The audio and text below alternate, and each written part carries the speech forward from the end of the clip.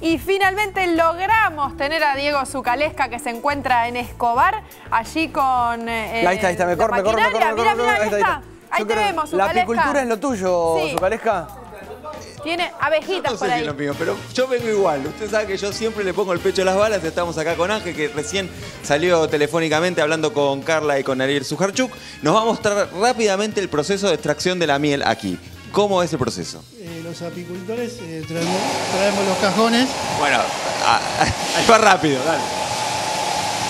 Pasan por el cepillo y después se prepara, se preparan los canastos y estos canastos va a una centrifugadora que se llama extractora y a la extractora va saliendo la miel como por, fuerza centrífuga y se va a un decantador.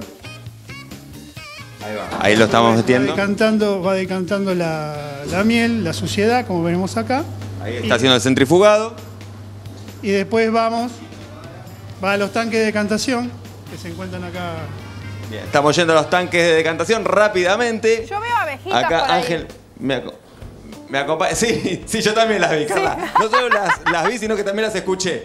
Divino todo, ¿eh? Abejitas para azúcar. La miel de, la característica que tiene la, miel del Delta, porque esta es miel de, las islas de Lechiguana.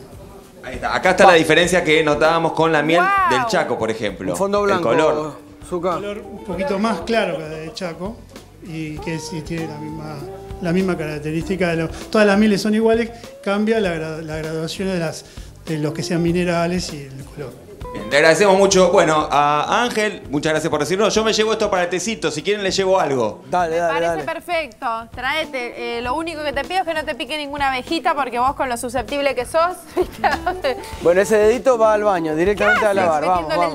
vamos, vamos. Tenemos que ir al corte. Tenemos que ir al corte mientras, mientras el señor Zucalesca eh, testea, testea distintas. Sí, control de calidad a cargo de Diego Zucalesca. Nos vamos, al corte. y seguimos haciendo vivo en Argentina así. Así. Bien, bien.